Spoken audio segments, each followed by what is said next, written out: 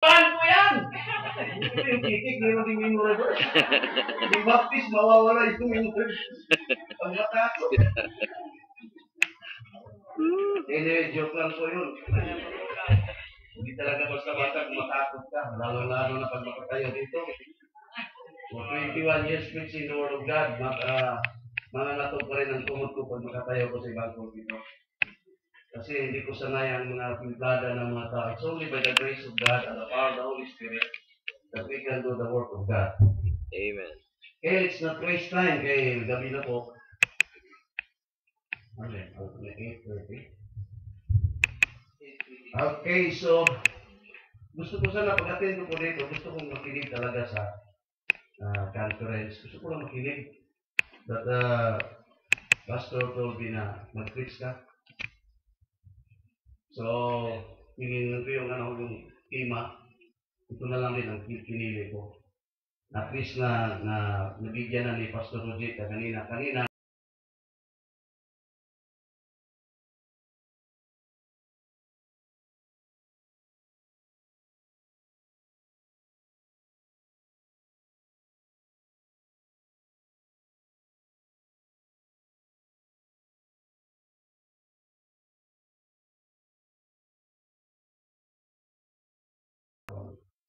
Manila, bisita natin. Sana po ay may-share din doon sa amin yung ano, yung kala- kaalaman nyo sa about the Bible, uh, especially sa ganito nga topic.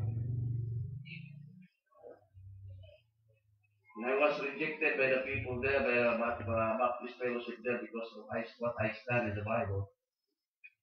Lalong-lalo na yung mga right division.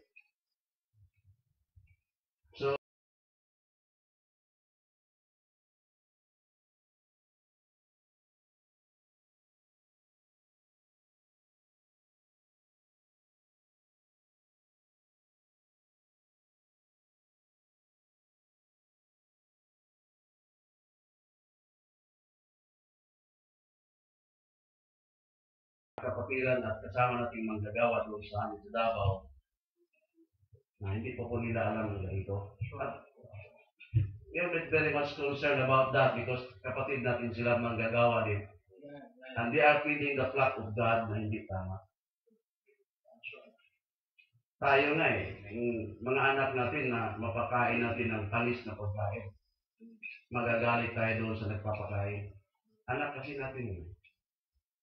How much more the family of God na pinapakain ng panis at hindi tamang pagkain ng mga. Amen. So, sana po.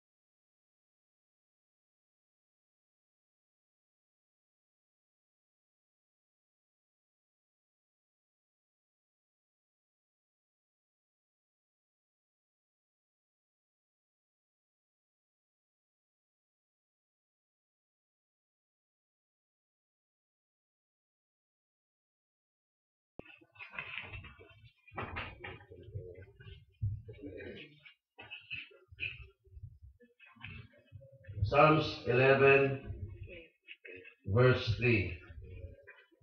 Are you there? I'm going to read. If the foundation be destroyed, what can the righteous do? Let's pray. Heavenly Father, Lord, we thank you, God, for this uh, night. Uh, this conference and uh, bringing your people here from Manila to share to us, Lord, uh, the treasure from thy word that they have discovered. We thank you, Lord God, for empowering, empowering them and even this church also. And I pray, Lord God, uh, we thank you for the great salvation that you have given to us and the power of the Holy Spirit and thy word, which is the lamp of our feet and the light of our path.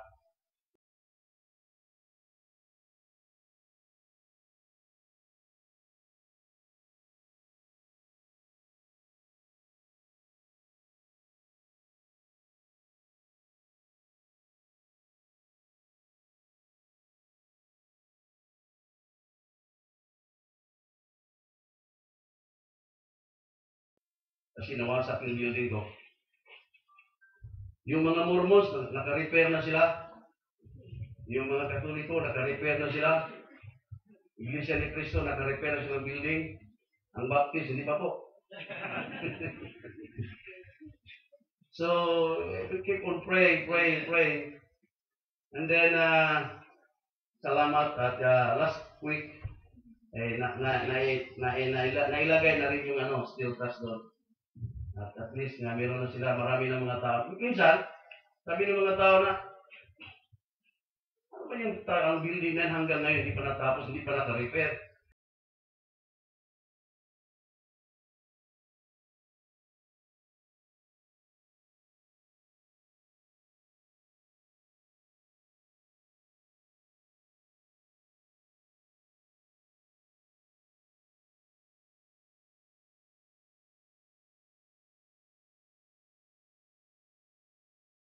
Our support is the Lord Jesus Christ. Good point right there. So, sabi nila, laki ng building. Uh, steel trust. Okay, mat natuwa naman ako. Minsan may isang engineer, civil engineer, nagpunta sa Binano. Tingin siya pagkatapos, tinanong niya ako, gaano kalalim ang pundasyon nito? Kinabahan ako, hindi ko alam ang pundasyon. Ito, one meter po sir, one meter by one meter. Oh, ilan bang sakong simento nakabuo sa pundasyon?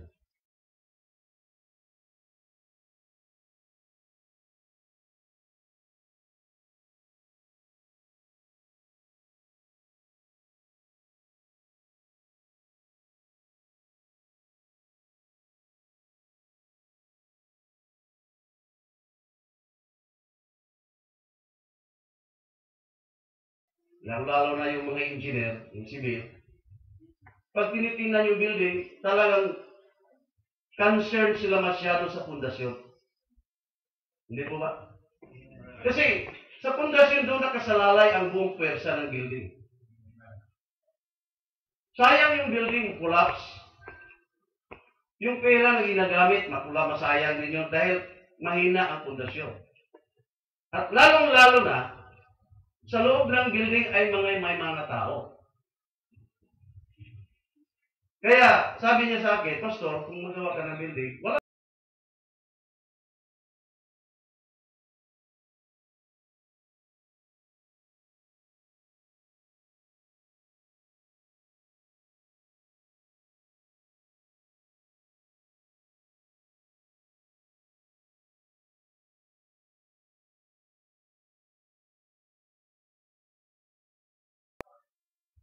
Eh, kayo na po managot sa mga tao dito. So, mga kapatid, importante talaga kung tayo gagawa ng isang building, ang importante pala talaga ay ang pundasyon. Amen. Kasi doon nakasalalay ang lahat ng biga, ang bigat ng building, ang strength ng building. Gagastos tayo ng gagastos tayo sa mga materialis ng building, at least ma- may sigurado tayo, may ah, may kasiguruhan tayo doon sa pundasyon. At lalong-lalo na may mga tao doon sa loob. Na mga kapatid, ang ating mensahe ngayon is about the foundation. If the foundation be destroyed, what can the righteous do? Titingnan natin sa Bible.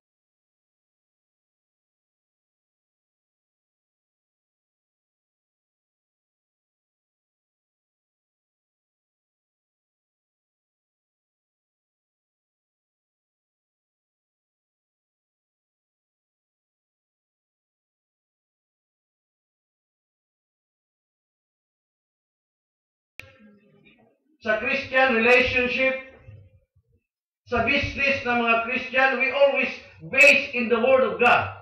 Amen. Because we believe the Word of God is the right foundation in every Christian life. Ang makita natin,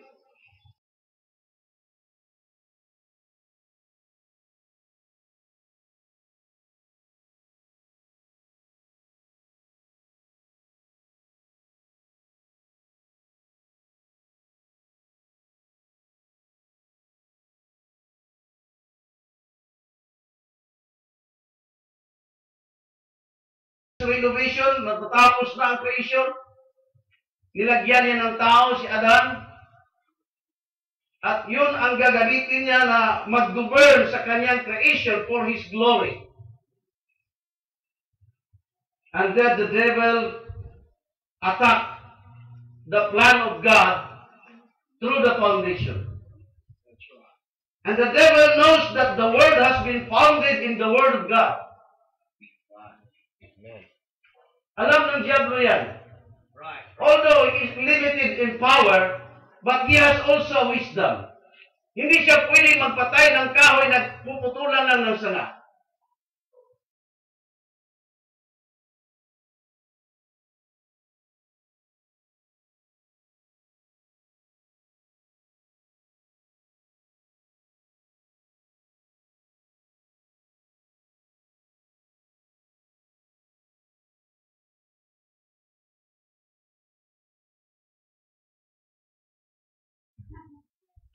So, alam ng Diablo yan, hindi niya masisira ang plano ng Panginoon kapag hindi niya maatake ang right, the, the very foundation of His plan, that is His Word. That is why in Genesis chapter 3, makita natin the first attack of the devil of the foundation of God's plan is written in the was written in Genesis chapter 3 using this word, yeah, had God said. Nilagyan lang niya ng question mark.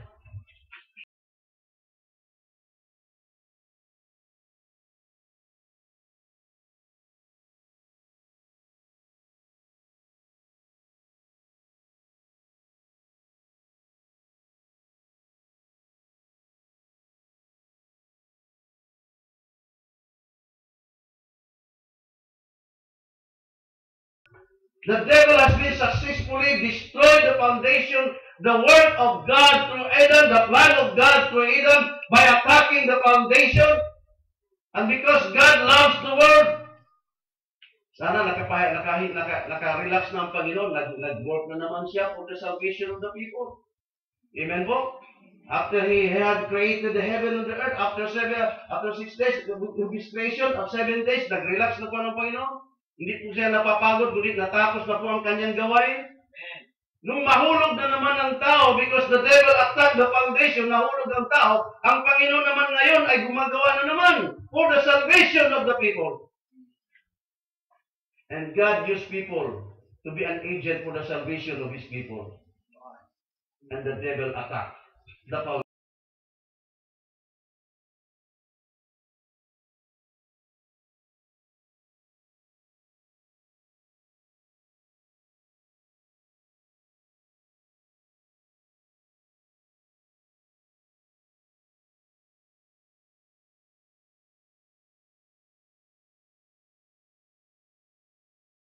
Biblia na ang, ang ating palang katawan ay sa Panginoon na pala gipalit kini sa Panginoon, gib- gibayaran sa Dios o gili na kita ang tagiya. And then we have read the Romans chapter 12 that God is inviting to us, I beseech you therefore, brethren, by the mercies of God, that you present your body a living sacrifice.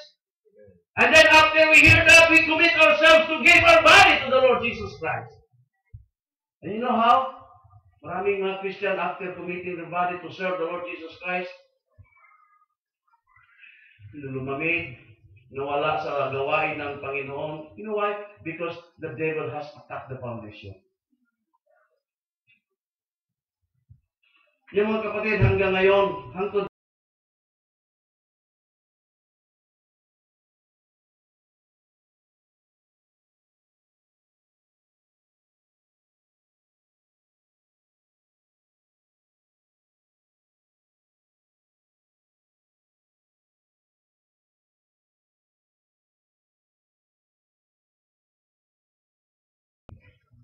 Karon ginadaot pag-ayo, ginaatake pag-ayo ni Satanas ang pulong sa Ginoo. Limang ka. Usa ka manggita na dugdugay na pula ng pastor sa Bible Baptist. Yung istorya siya, you know, King James Bible, that is the nearest translation in the original. Eh, maraming nakikinig sa kanya dahil matanda na siya. Tagal na rin sa ministry. Nearest translation to the original. Sabi ko, Pastor, halimbawa, babatuhin mo yan ngayong yung bag na yung babatuhin yan. Muntik nang tinamaan, gabuhok na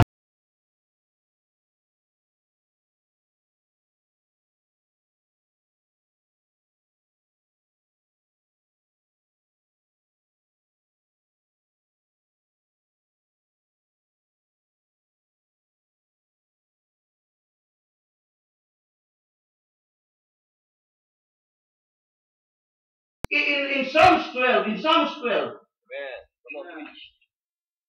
the devil is destroying, the devil is attacking the foundation, and what can the Christian do? Ano pong magagawa sa mga Kristohanon? Sasabihin na lang natin, tama.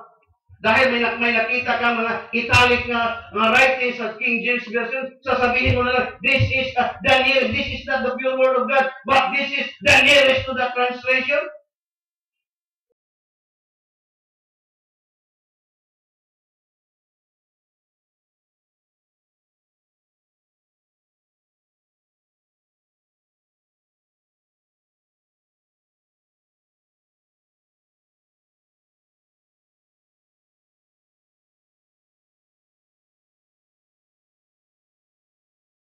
12, verse 6. Are you there? Amen. The words of the Lord are what? Pure. As silver tried in a furnace of earth, purified seven times. Amen. When God calls me, in, in, nang, nang maligtas ako, I was working a, a, a gold purifier doon sa North Davao Mining Corporation. Doon po ako nasay sa gold plant. Doon, doon, doon ako naligtas. At doon din ako kinawag ng Panginoon. For four years po akong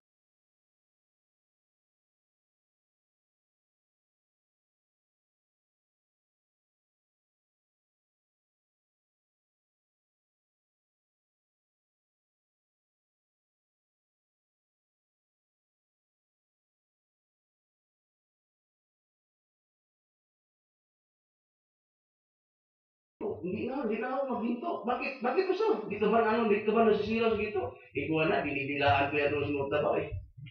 Yan ang trabaho ko doon eh. Pagkatapos, iniwanan ko yun dahil sabi ng Panginoon, mas importante yung kaluluwa. Shall it profit a man if he shall gain the whole world and lost his own soul? What shall a man give in exchange of his soul? Naintindihan ko yun ang pina, kaya pinausap ng Panginoon sa akin. Kaya I let the job. Mas importante yung kaluluwa kaysa bulawan. Kaysa ginto. Minsan, nag-purify kami ng bulawan, ng ginto.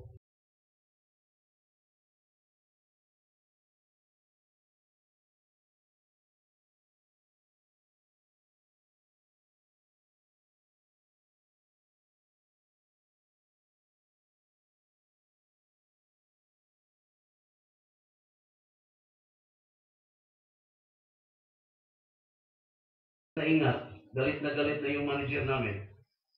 So, after sa second time purification, pure na talaga siya. What about the Word of God? Pure na! Purified pa seven times. Amen. Sabi ng Panginoon, the Word of God is pure words. Glory to God. And after that pure words, He purifies seven times. Amen. Pagkatapos, magduduha-duha pa ka na. Amen. Maura, ikaw nga grabe, no? Pure na.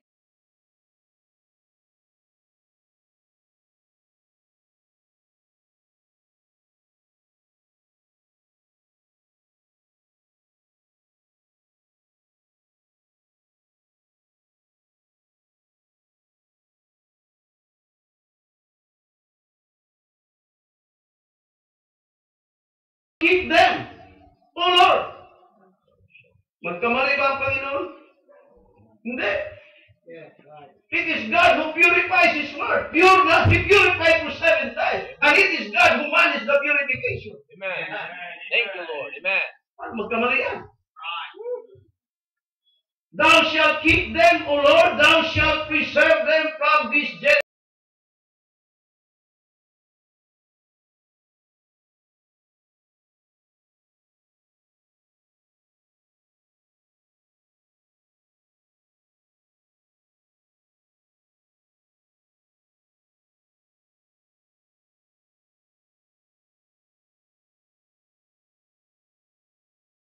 of them, mga pastors, they were the, the King James Version. This is only the nearest to the translation, the nearest to the original. Kasi eh, sabi ko, bakit pa sinasabi mo ganyan? Kasi may mga italic words din eh. Wala yan sa original.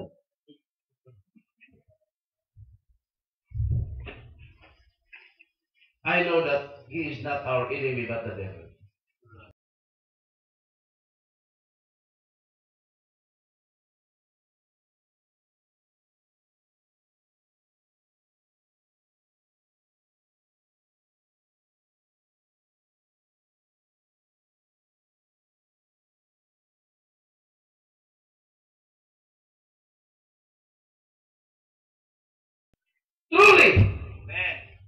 Amen. Amen. convinced that this is the pure word of God. Praise. Meron na nga ngayon eh. Anong ang dugo ni Jesus Christ ay may kasalanan na. Dahil po, yung, ah, ano, umbilical cord, ano yun? Doon daw kay Mary. Nakausap ko yung isang pastor, sabi niya, alam mo pastor, nag-research din ako eh. Ang, ang dugo ng tao pastor, ay apat po na kulay yan.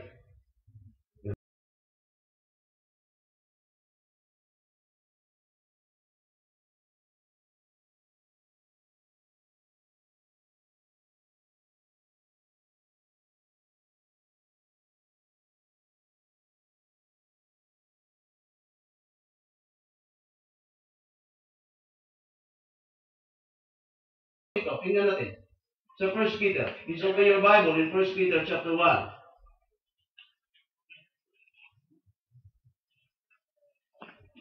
Sabi ko, ito po sinabi niya sa 1 Peter chapter 1,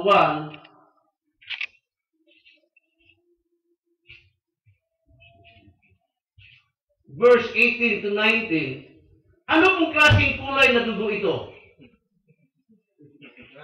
Is this specifically red or this is the general term of the blood? Sabi niya, siguro red yan.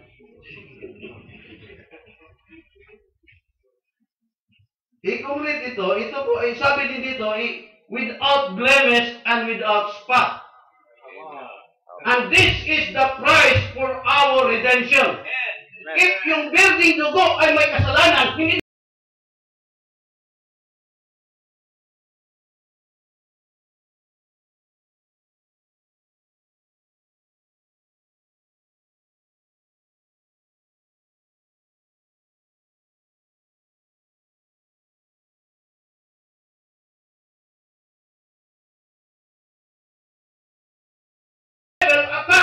foundation of the blood of Christ. Preach. Because alam na alam ng Diablo na ang blood, it is only the blood of Christ is the only price of our redemption. I was redeemed by, by, the, by, by the blood of the Lord Jesus. Thank you. That is why Amen. when I die, I'm going to heaven. Amen. Glory to God. Because of the blood of Christ. Sabi niya dito, hindi.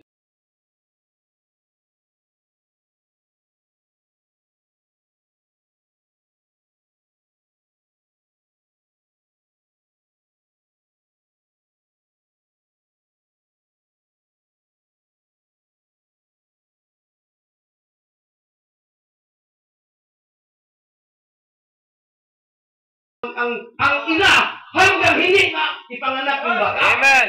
Kinakailangan ang bata, matao siya na walang earthly father. Because the, the, the corruptible seed comes from the man, not the woman. Romans chapter 5, verse 12. Wherefore, as by one man, is it woman?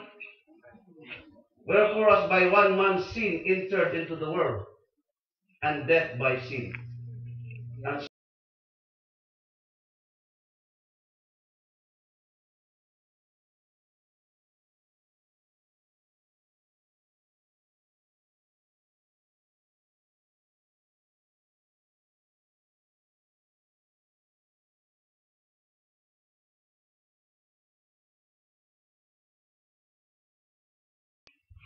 kasalanan po, kakapasok po ang kasalanan dito sa mundo sa isang lalaki, hindi po sa isang babae. Sabi nung po before by one man sin into one. Hindi naman sila before by one couple. Kaya I believe the virgin birth. Sabi ko, do you believe the virgin birth? Pastor, yes, I believe. Kung paano yan? You believe the virgin birth, but you do not believe that the blood of Christ is without spot and with, uh, is blameless and without spot. Bakit si Jesus Christ kaya kailangan matao siya is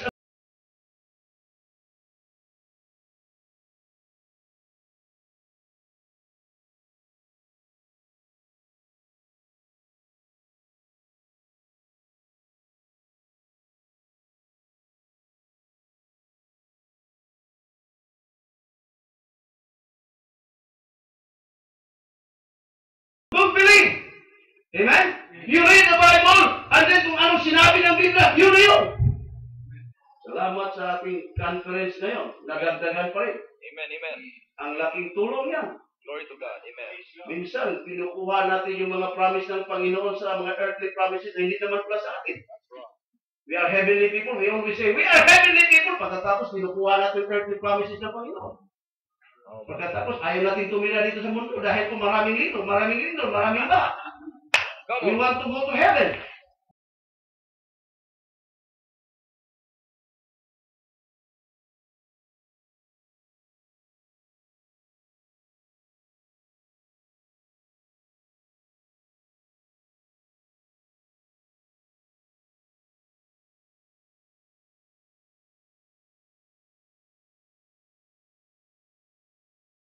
Word. Pa. Amen, amen. Pangalawa. Pangalawa, if the foundation has been destroyed, the Bible says in Romans, eh, eh, in Psalms 11,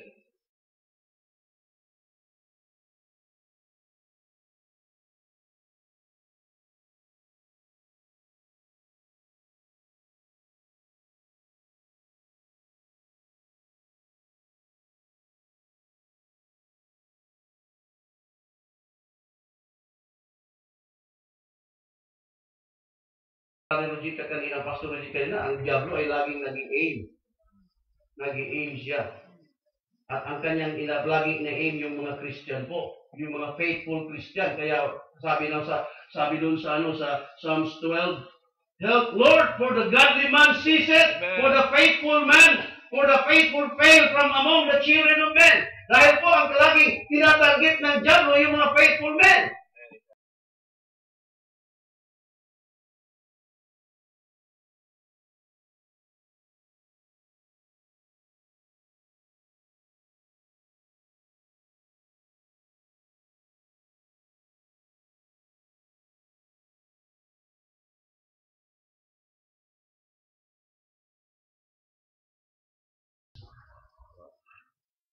Galit na galit ang Diablo sa mga soul winner. Because number one, the devil doesn't want his people to be saved. Kaya galit na galit ang Diablo. Kung ikaw ang Christian hanggang upo ka lang dyan, makinig, upo, uwi, upo.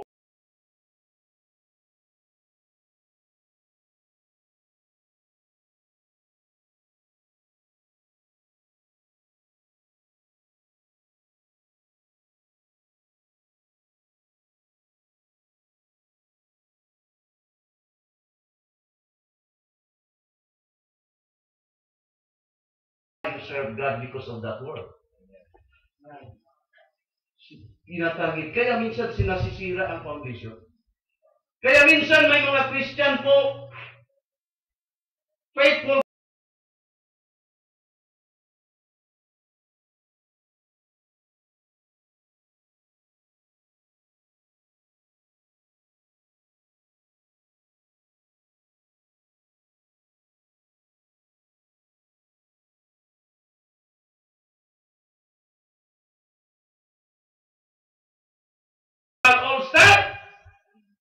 Why? Because the foundation of God standeth sure. Good. Amen. Second Timothy chapter 2 verse 18. Amen. That's right. Second Timothy chapter 2 verse 18. The Bible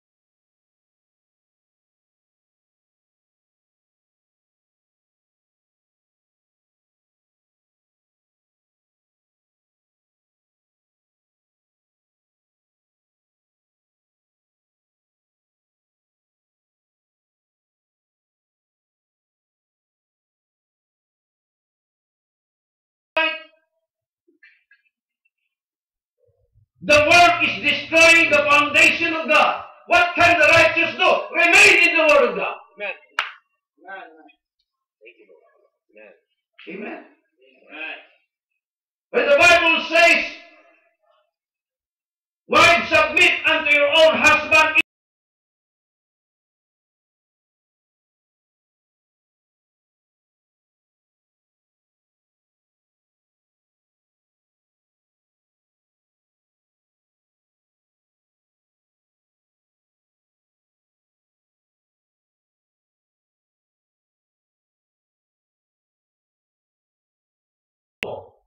Minus po ang ano, minus po ang mga ang, ang diskarte sa buhay.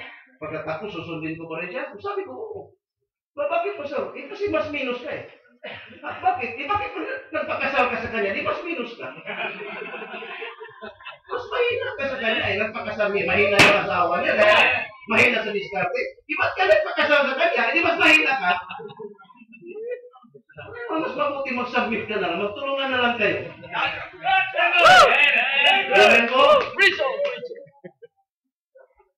Mahina yung ni Mr. K. Mahina sa discount. Eh, mahina. Di mas mahina po kayo dahil nagpakasal ka sa kanya. Di mas maganda na lang mag-submit. Meron na kayong children's right ngayon. Ang hirap na mag-discipline sa ating mga anak kung meron ng discipline, meron ng children's right. Because we cannot train our child in the way they should go without disciplining them, without the rod. Amen? May nangyari dun sa amin, sabi niya, nakabili siya ng isang kalabaw. Ang, ang, ang, ang galing, ang, ang, ang lakas kumain ng kalabaw. Ang ganda ng katawan. Eh, kasi, kasi ano, kumain ba? Pakainin mo. Parang Lone Mower yung bibig. Pagkatapos, tumatararo, ang bilis tumatar. Ga- Ganon-ganon yung mga, yung mga, yung mga lupa sa araw, ah, daan sa araw. Ang problema lang sa kalabaw, pag mainitan siya, idiretso yung araw doon sa tunahan. Ganun ang kalabaw, diretso sa tunahan, mainit na. Sabi niyo mayari, ipagbili ko ito.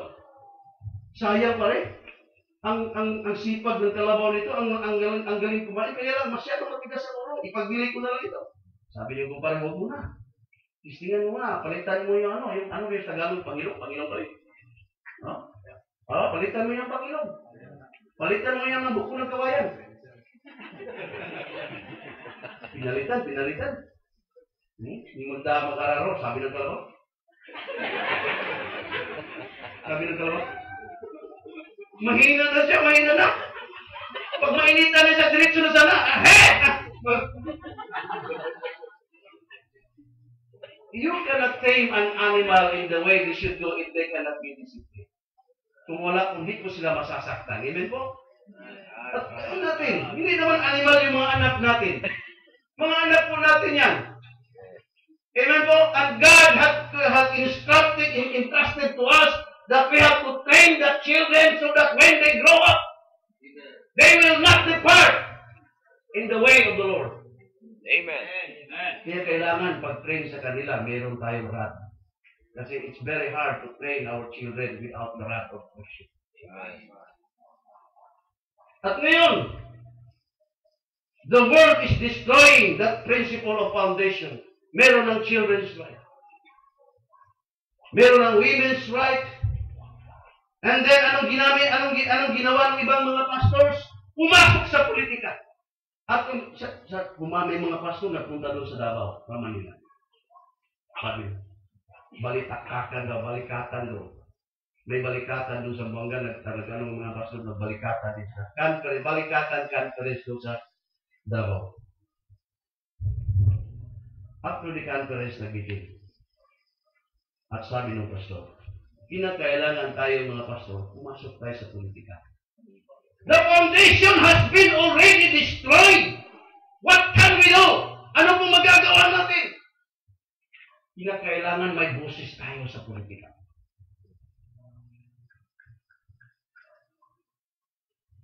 Sabi ko, Pastor, hindi po ba sabi sa Bible, si Antichrist po ang maka, makasolba sa problema dito sa mundo? Si Antichrist po, hindi po tayo. Si Antichrist po po. Nakita na natin sa Book of Daniel yung, yung, yung, yung golden image.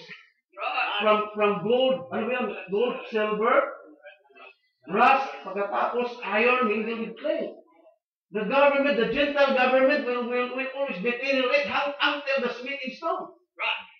Kaya hindi na, wala, hindi na po tayo asa na mabago pa natin ang dakbo ng Gentiles na, na power. Amen. Deteriorate na pa-deteriorate yun eh. Amen. Amen. And God did not told us to change the world, to, to, to make the world upside down through politics. The Bible says we can only change the world upside down through preaching the gospel. Amen. Preach on. Sabi ko si Antipas na makasunod dyan eh, hindi tayo. Ang church po ay hindi po pinilagay, hindi, ginawa ng Panginoon upang po to change the world of, to change the world through politics. Hindi po tayo tinawag ng Panginoon diyan. Klaro po ang pagkatawag sa atin to preach the gospel. To feed the people with God, with knowledge and understanding, so that the church can do the mission of God. Yun po. But the devil is attacking the foundation and has been destroyed now. What can the righteous do? We have to go back to the basic. Amen. We have to remain to the Bible. Because the foundation standeth sure. Sabi ng Panginoon, kahit na po ang foundation sa mundo ay nasisira na, but the foundation of God standeth sure. Therefore, if the foundation of the world has been destroyed, what can the Christian do? Stay in the Word of God. Amen. Stand in the Word of God. Teach our children in the Word of God. Train them in the Word of God. Let us, uh, let us establish our relationship in the Word of God. Let us strengthen the church in the Word of God. That's the foundation. Amen. Amen. Praise the Lord. Yun po ang magagawa natin. If the foundation of the world has been destroyed, ang magagawa po natin, let us strengthen the people of God, the church of God in the Word of God. Good preaching. Amen. Let us go back to the basic. Pangatlo, if the foundation has been attacked, do not yield. Do not yield. Know the Bible. Amen. If the foundation has been destroyed, always go back to the basic. And then the foundation has been hit. Lagi pong pinatamaan yan. Palagi pong pinatatamaan. In Matthew chapter 7, in Matthew chapter 7, makita po natin ang dalawang foundation po dito. The rock foundation and the sand foundation.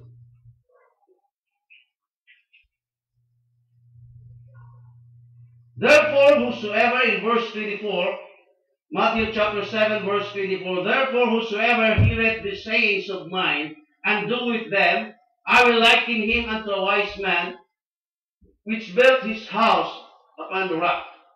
And the rain descended, the floods came, and the wind blew, blew and beat upon that house. And it fell not, for it was founded upon the rock. And everyone that heareth the sayings of mine, and doeth them not, shall be likened unto a foolish man, which built his house upon the sand. And the rain descended, and the floods came, and the winds blew, and beat upon that house, and it fell, and great was the fall of it. Makita natin mga kapatid, dalawang pong bahay. Dalawa pong bahay. The same materials. The same materials. Nakatayo po. Nakatayo po ang dalawang bahay with the same materials, the same design, the same architect. Ano pong pagkakaiba ng bahay nito? Hindi po makikita ang pagkakaiba nito kung wala pong mga mangyayaring typhoon, wala mga disaster. Makikita po natin ang pagkakaiba ng dalawang bahay nito. When the floods came, the wind blew. Dahil po, sabi ng Panginoon, ang bahay po na nakatayo sa isang matigas na bato, right rock foundation, mapil niya ang hangin, mapil niya ang ah, mapil niya ang lakas ng ulan, ang baha, but cannot So it doesn't mean mga kapatid, if you stand in the Word of God, wala nang, wala nang mga disaster sa iyong buhay. Meron din. Amen? Meron din. Amen. Minsan nga lang doon sa amin, member ko, hindi nakapagsimba. Pinuntahan ko pagka, pagkamandi, pinuntahan, Brad, ano po nangyari? Hindi kayo nakasimba. Sabi nyo, hindi, hindi na lumik yung, uh, yung, yung lalaki. Sabi niyo asawa ba eh, ay pastor, ayaw na rin magsimba. Bakit? Hindi ko lang nabigyan ng media sa hapon. Sabi niya, ayaw ko na magsisimba. Kung sa may labot sa pulong ng pulong sa Diyos. Medyas na problema, sa may labot sa pulong sa Ginoo. Ano ang kinalalaman sa, sa salita ng Panginoon sa medyas? That you know, how the devil always hit the foundation to discourage you. Hello? Amen. Amen. Hindi po ang asawa niyo ang dahilan bakit ka na-discouraged. It's the devil. He always hit the foundation so that you may be discouraged in following and serving God. And what can the righteous do? When the foundation is always hit by the devil, stay, remain, and trust the word of God. Sabi ng Panginoon ito, the winds blow, the, the, the winds blow, the, the floods came, the rain, the, the rain uh, descended, and it fell not because it was founded upon the rock. Masasaktan tayo, madi-discourage tayo. But wala pong damyos talaga if you will understand the word. Minsan, ang mga typhoon gagamitin ng Panginoon so that you can be in the right foundation always. In, in Hebrews chapter 12, verse 27, please open your Bible. Hebrews chapter 27, uh, 12. Hebrews chapter 12, verse 27. Are you there? Hebrews 12, 27. And this word, yet once more, signifieth the removing of those things that are shaken, as of things that are made, that those things which cannot be shaken may remain. Minsan nag-beach, nag-beach fellowship kami, nasakay kami ng church, nakasakay na kami sa bus, sa sasakyan, yung, yung dump truck. Sabi ko, pinara ko yung ano, pinara ko yung sasakyan, sabi, nakasakay yung church doon. Sabi ko, pwede ba walang makaupo sa siding? Hindi naman upuan yan eh. Delikado po yan. Doon kayo lahat sa loob, huwag sa labas. Hindi upuan yan. Mga kapatid, minsan God will allow and command the typhoons in our life to shake in us so that yung mga man-made na tinatayuan natin ay mawawala yun. Because ayaw ng Panginoon, doon tayo magbigay, ma- doon tayo maka, mag-rest sa foundation that is not the foundation of God.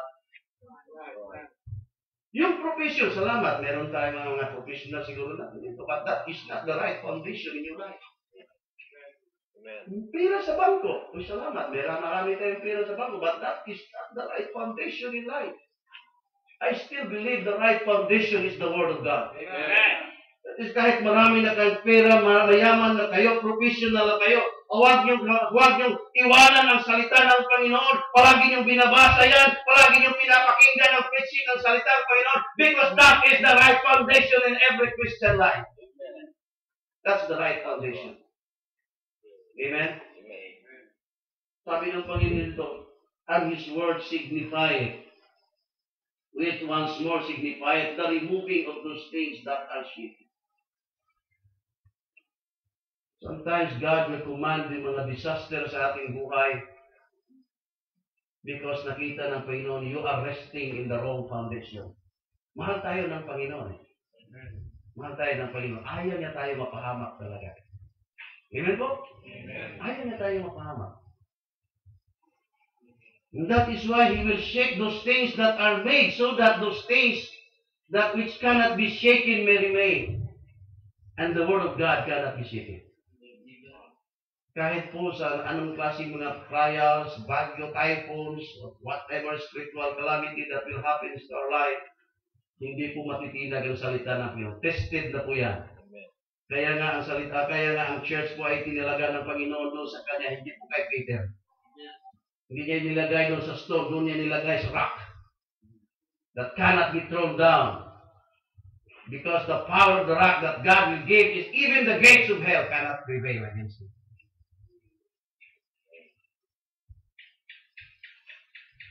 What about Psalm 66, verse 12? Psalm 66, verse 12.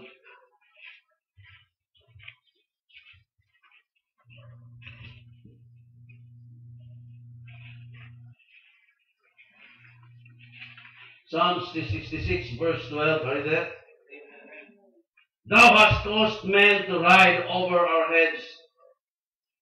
When we went through fire and through waters, but thou broughtest us out into a wealthy place. Sometimes God will use people to hurt us. Amen? Nung isang linggo, nag-visit ako doon sa isang member ko, matagal hindi nakasimba. Ba't ka nagsisimba? Di ka na yun nagsisimba. Anong problema ba? Ah, wala pa so, sabi ng lalaki. Wala man pa so. Galis ng lalaki, yung babae, yung asawa, sabi niya, Pastor, I prank so much. Oo, bakit? Ano po nangyayari? Isa, kasi po, Pastor, sabi mo kasi, dahil po ba hindi na kami nagsisimba, iniwan na namin ang Panginoon? Hindi po, hindi naman ah. Isa sinabi ko yun, Pastor. Ikaw nga, sinabi ko nga.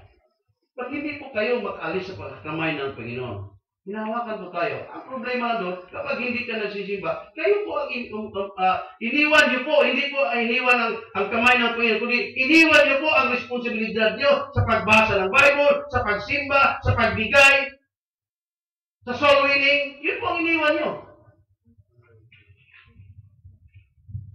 Galit sila sa akin. And I told them, sometimes God will use me to hurt you so that you will be in the right place of God. Ganun tayo kamahal ng Panginoon. Sabi niya, sa, He will use people to ride over our heads. Buti lang kung dito magsakay yung tao, baba, baba. Ba, dali, baba. Pero dito, tatapakan yung ulo natin sa tao. Sabi mo, sakit iba yun. And minsan, God will use people to hurt us our heads. So that you will always remain in the right foundation of God. In the right foundation of life, which is the Word of God. Young people, mga men, women in. Sometimes God use fires. Masakit. Wala pong Christian nagpipray, Panginoon, bigyan mo po ako ng mga mga mga trials na nakakapasok. Wala pong nagpipray noon. Amen po? But God will allow those fires to come into our lives that we may be in the right place of God, that we may be in the wealthy place of God. And the wealthy place of God is when we are in the right foundation, that is the Word of God, ang ating buhay. Amen po? And sometimes water speaks of the trial na hindi natin na, hindi na natin ma hindi na natin ma ma-anticipate. Ano ba naman klase? Lord, saan ba ako nagkamali dito? Saan ba ako nagkamali? Hindi ka naman nagkamali. Just God just give you that kind of problem na hindi mo maintindihan. Because God just wants you to be in the right place in the ministry. In the right place in serving God. That is how the devil attacked the foundation. That is how the devil destroyed the foundation. And that is how the devil sometimes always hit the foundation to discourage us. But when the foundation has been hit, what can the righteous do? Just remain faithful to the word of God. When the foundation has been destroyed by the world, what can the Christian do? Just go back always to the basic of the word of God. When the foundation has always been attacked by the devil, what can the righteous do? Listen to them. Listen to the word of God. Let us pray. Our loving Father, thank you so much, Lord, this evening sa iyong salita. Sana po, Panginoon, ipagpalain niyo po ang salita ito. And may you always put this into the remembrance of your people that we will always stand firm in the foundation. And we thank you, Lord God, that you have the foundation that is standing sure, and that's your word. Please help us, Lord, to magnify it, to trust it, and to treasure it into our heart. Forgive us from our sins. In Jesus' name, Amen.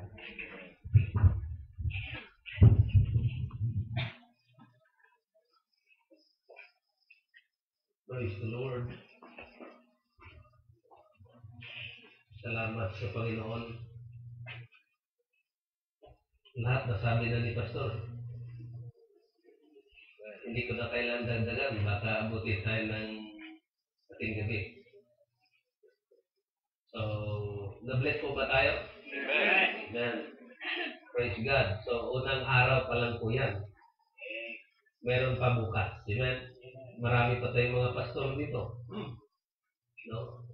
So, may mga magtuturo na naman po bukas ng umaga, hapon, at saka makakapakinig naman po tayo ng mga preaching message sa gabi. So, sana wag po tayong ah, huminto. Amen? Amen. Ah, sana bukas dito pa rin po tayo. So, nawa ay maging meron tayong encouragement or kadasig na padayon maminaw sa puno sa Ginoo.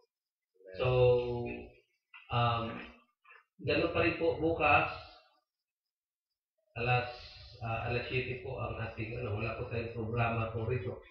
Lahat puro impronto halos. No? Kaya nga itong dalawang preacher natin ngayong gabi, impronto ito eh. Pati yung mga special number dahil iniintay natin yung leading of the Holy Spirit. Amen? Amen. So, praise the Lord. Salamat na at least natapos natin ang isang gabi, ay isang araw. At ah, bukas ang almusal po natin is alas 7. Ganun din po. At ah, magsisimula tayo ng 9 o'clock. Kaya, um, yung siya natin po dito sa likod, by the way, hindi ko na kanina. So, adit yung siya, meron din tubig dyan.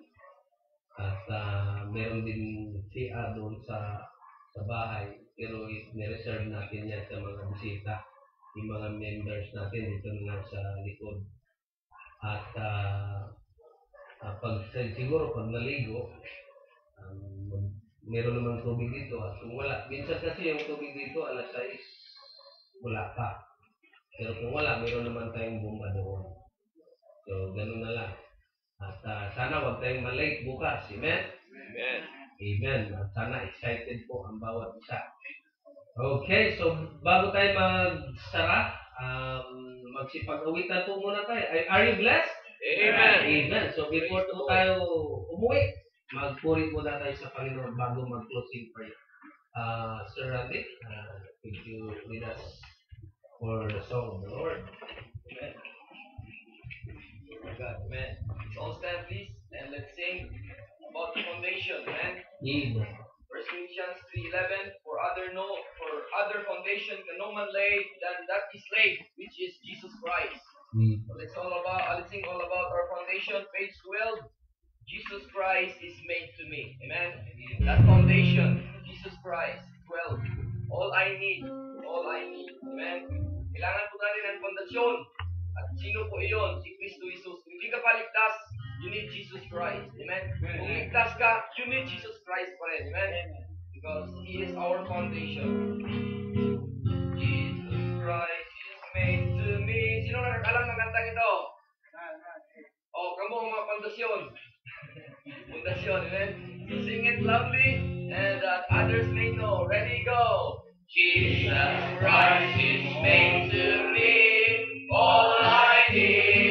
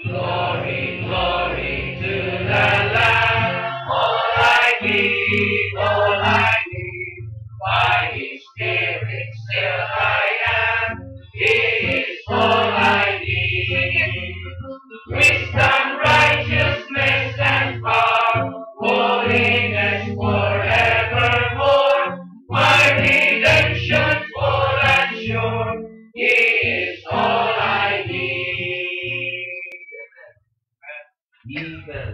Mag-close po tayo sa panalangin.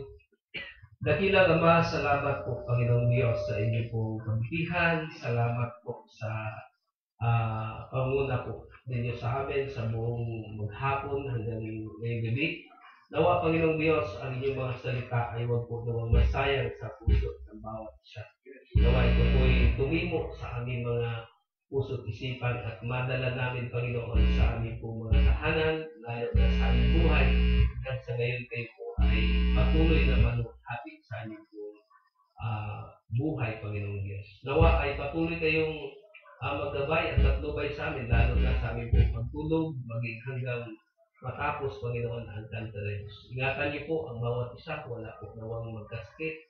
Kung meron man, i-rebuke niyo po, Panginoon. Sa gayon ay lahat ng mga anak ninyo, mga kapatiran, mga kaibigan at ah, bisita po namin ay patuloy na makapakinig ng inyong mga salita. And all these things in Jesus' name. Amen. Bago po ang lahat, yung po mga pastor na nandito ngayon, pwede po umakyat dito at mag-picture taking tayo para meron naman souvenir. Amen. Lahat po ng mga pastor.